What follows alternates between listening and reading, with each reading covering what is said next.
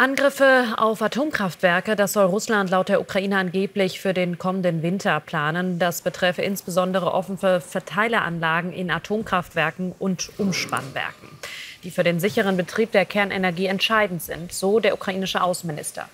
Ein Zwischenfall bei den Atomkraftwerken könnte globale Auswirkungen haben. Russische Raketen- und Drohnenangriffe zielten wiederholt auf Energieanlagen ab. Im Rahmen der Invasion der Ukraine von Februar 2022 hatte Russland bereits das größte Atomkraftwerk nahe dem südukrainischen Zaporizhia besetzt. Präsident Zelensky hat angekündigt, die Verteidigungsausgaben seines Landes zu erhöhen.